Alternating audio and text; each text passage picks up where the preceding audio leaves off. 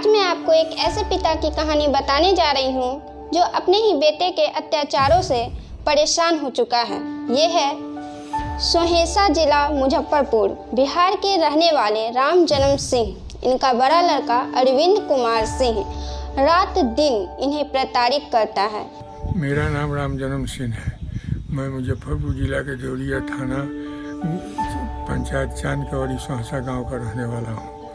मेरा बड़ा लड़का अरविंद कुमार सिंह जो सो कि रात दिन मुझे शराब पी करके बहुत प्रताड़ित और तंग करता है। उससे मैं बहुत आतंकित हूँ जो कि। रात दिन शराब पी करके माँ बाप को गाली देता है और जो सो कि हमको घर से निकालने के लिए की बात करता है।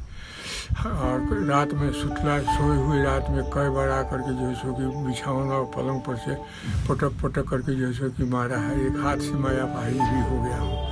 हाथ भी नहीं उठाया जा, उठाया जाता है पूछते हैं। इसके लिए मैंने डी जी पी मुख्यमंत्री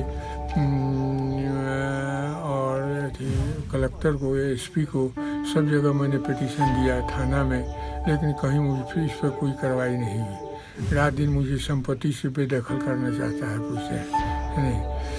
मैं चार तरह की बीमारी से आक्रांत हूँ। इसके चलते भी मुझे काफ़ी परेशानी होती है पूछते हैं। इसलिए मेरा सरकार से आग्रह है जैसे कि ये आप हमारे प्राण का हिफाजत कीजिए। नहीं तो हो सकता है कि हमको आत्महत्या करना पड़े, पूछते हैं। तो हमारा जीना जो जीना जो है कि बहुत मुश्किल हो गया है, पूछते हैं। रात दिन जो है कि